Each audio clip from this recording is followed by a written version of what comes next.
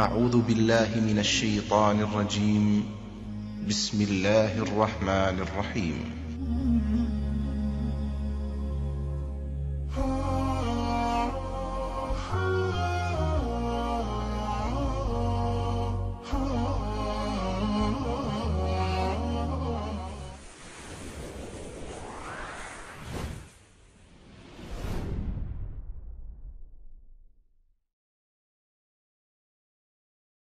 ওয়ালাইকুম আসসালাম রহমতুল্লাহি অবরাকাতু ইন আলহামদুলিল্লাহ সালাতু আসসালাম আলা রসুলিল্লাহি সাল্লাহ আলাইসাল্লাম বসির ভাই প্রশ্ন করেছেন সৌদি আরব থেকে যে, কাদিয়ানিরা কারা এবং কাদিয়ানিদেরকে কেন অমুসলিম ঘোষণা করতে হয় বা কেন কেন তারা অমুসলিম? এর কারণ কি? আসলে আমাদের মুসলিম সমাজের বড় একটি অংশ কাদিয়ানিদের বিষয়ে স্পষ্ট কোনো ধারণা রাখে না। কাদিয়ানিরা কাফের অনেকেই জানে বা বলে।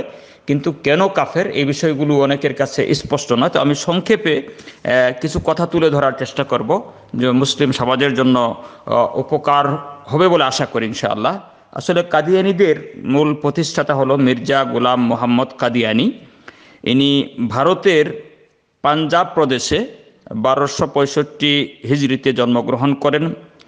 এটা ইংরেজদের লালিত পালিত ব্যক্তি।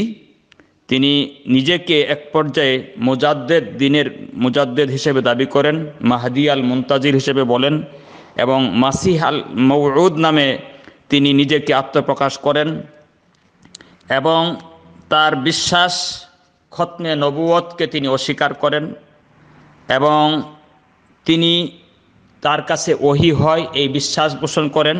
তার কতগুলি ভ্রান্ত আকিদা, এগুলি আমরা যদি জানি তাহলে অবশ্যই নিজেরাই বুঝতে পারব সে কাফের না মুসলিম।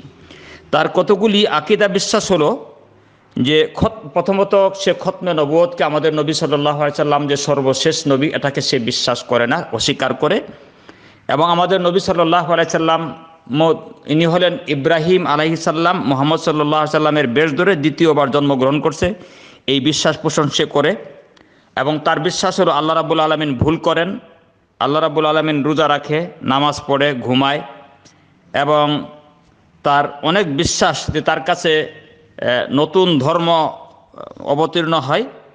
তার বিশ্বাস হলো হজ, বড় ধরনের একটি হজ হলো মুসলমানদের জন্য, যে কাদিয়ান শহরে তার কবর ভ্রমণ যারা করবে, তাদের জন্য সেটা হবে সবচেয়ে বড় বড় হজ। তার বিশ্বাস অনুযায়ী, তার ধর্ম অনুযায়ী শুগরের মাংস, খিঞ্জির যেটা বলি শুগরের মাংস এবং মদ, গাঁজা হিরোইন এগুলি বৈধ তার ধর্মে এবং যে কোরআন তার কাছে অবতীর্ণ হয়, সে কতগুলি আয়াত বানানোর চেষ্টা করেছে, সেই কোরআনের, সেই কিতাবের নাম দিয়েছে ফোরকান নামে, সেই দ্বারা তার প্রতি বিশ্বাস করতে হবে, তার প্রতি যারা বিশ্বাস করবে না, তারা হলো কাফের। আমাদের মতো সন্নি মুসলমানদেরকে সে কাফর, কাফের মনে করে এবং হত্যা করা সে সোয়াবের কাজ মনে করত এবং জিহাদের সকল আয়াত মানসুক করা হয়েছে। এই সমস্ত বিশ্বাস পোষণ করে নবী সাল্লাহ সাল্লামকে যারা খতনে নবুয়ত বিশ্বাস করে না, এই কোরআনের প্রতি বিশ্বাস রাখে নাই। ঈসা আলাহি সাল্লামকে আল্লাপাক মৃত্যু দান করেছেন, তাকে জীবিত উঠায় নেননি এবং এই সমস্ত ভ্রান্ত বিশ্বাস পোষণকারীরা কখনো মুসলিম হতে পারে না। এই জন্য কাদিয়ানিদের প্রতিষ্ঠিত নেতা মির্জা গোলাম মোহাম্মদ কাদিয়ানি উনি এই ধরনের ভ্রান্ত বিশ্বাস পোষণ করেন, নিজেকে নবুয়তি দাবি করছেন, মিথ্যুক, মিথ্যাবাদী।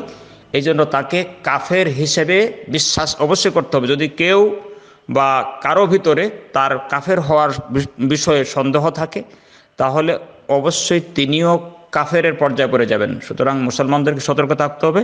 এই সমস্ত ভ্রান্ত বিশ্বাস নিয়ে যারা দিনকে নতুন দি- ধর্ম দিন প্রচার করার চেষ্টা করবে তাদের থেকে সতর্ক থাকতে হবে এবং তারা মুসলিম হতে পারে না যারা মুসলিম নয় তারা নিশ্চয়ই অমুসলিমদের কাতারে এবং কাফের ওসল্লাহ নবীনা মাহমদ شهد الله أنه لا إله إلا هو والملائكة وأولو العلم وأولو العلم قائما بالقسط.